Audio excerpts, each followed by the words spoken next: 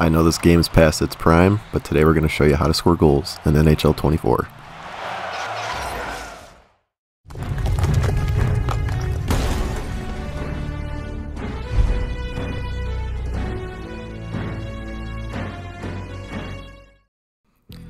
I know I'm late to the party, but this school year has been insanely busy for me, and I made a promise to the subscribers, so here we are with another how to score tutorial in NHL. So EA added full pressure this year, which myself and many other players really dislike. It's just really overpowered and one-sided for the offense, because while they retain their energy, the defense loses their energy along with the goaltender, who just gets extremely fatigued. Now, if you run a big cycle game in NHL, then full pressure probably helped you out quite a bit this year. Whether you cycle or not, I have four main scoring methods for NHL 24. Obviously, there's tons of other ways to score, but these four are definitely the most consistent. These methods continue to work post update and post patch. These will also work in all game modes such as HUT, EASHL, Be a Pro, etc. I guarantee if you follow these steps correctly, you'll be running opponents out of your lobbies and helping these good players lose.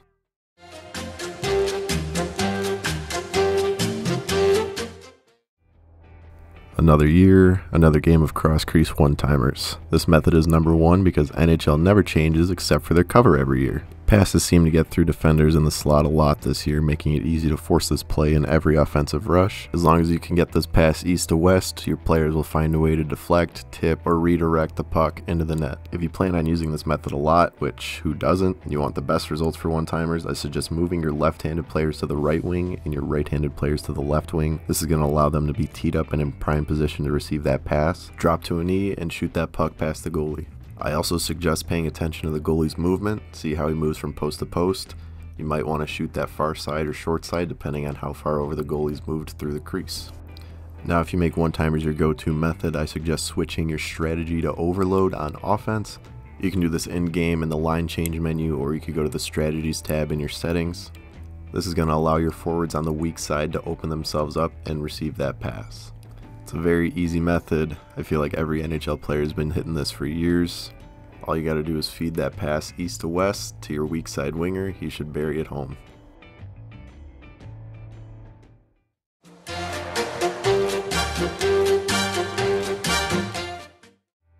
Breakaways and those little one-on-ones with a goaltender occur a lot this year. I've seen lots of players struggle with them, including my EASHL teammates. And while it seems more difficult to cash in on breakaways as compared to last year, the method for finishing is still the same because like I said earlier, same game, different year, different cover. So just like previous years, you want to quickly stick handle backhand, forehand, backhand, or forehand, backhand, forehand, and then shoot the puck on that short side. In order to do this, you must move your right analog stick from 3 o'clock to 9 o'clock, or vice versa. That's pretty much all you need to know movement-wise in order to succeed. If you need an in-depth tutorial of this, I'll leave a link below of my video that focuses solely on breakaways and the movements you need. I'm pretty sure it's from NHL 22, but it's the exact same movements and it'll help you out a lot. Make sure you pay attention to the goalie's movements and how the goalie bites. You might have to aim high or low on the short side depending on where his pad sits. If he has you beat on the short side, don't be afraid to go far side just like this just a personal note that I had. Um, I feel like the backhand is a lot easier to score on this year. I still have success on the forehand, but going backhand has been the best way for me. So that's breakaways this year. Very simple. Definitely have to score on these if you're given the opportunity, especially if you're trailing by a couple of goals. Or if you're my club teammates who can't score a breakaway to save their fucking life.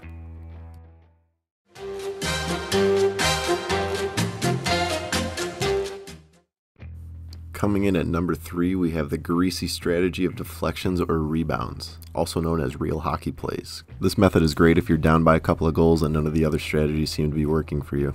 All you have to do is aim your shots low from the point and they'll either be tipped in front or cleaned up in front by your forwards. In order to shoot low, aim your left analog stick down or at 6 o'clock that puck should stay along the surface of the ice the entire way. These shots seem to work very well this year as compared to previous years, especially if your forwards have the big tipper or close quarters zone ability.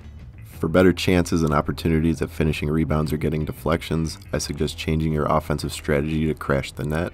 As stated earlier, you could do this in the offensive line change tab or in the strategies tab under your settings. This will increase your net front presence and get all your players in the slot ready for a tip or a rebound cleanup.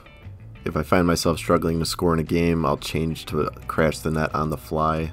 it gives you insane opportunities to get back into a game even if you're down by like two or three goals. As you can see, I score a lot this way. All you have to do is shoot low from the point. Your AI forward's going to do the rest. They're going to do a stick tip or stick deflection animation, and 9 times out of 10 that puck's going past the goalie.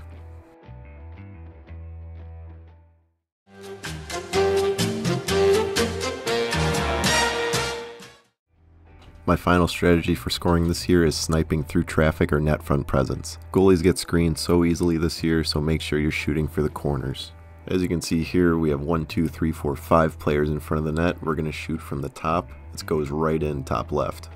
Now if your opponent's defenders collapse in front of the net or the slot, it'll leave the top of the circles wide open and they'll be screening their own goalie, allowing you to cash in on a sweet snipe.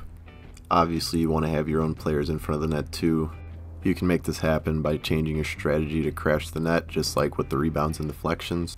Instead of shooting low across the ice for a tip, shoot for the corners. Your AI forward will screen the goalie in front. He's not going to see the puck.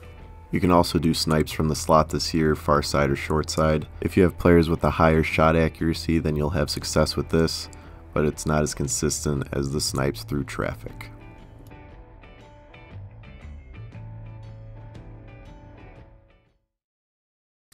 So we're approaching April, but those are the best ways to score in NHL 24 in my opinion. They're definitely the most consistent for me and a lot of other players. Obviously, there's more ways to score in this game, but I just wanted to share the easiest for the newcomers or the people that are struggling Next time you load into a game of HUT or EASHL, please keep these four strategies in mind. I guarantee you'll succeed with them as long as you execute them properly. If you have any questions, just leave them in the comment section below. I'll answer them to my best ability. Even though it's late in the season, I hope this video sheds some light on how to score in NHL 24.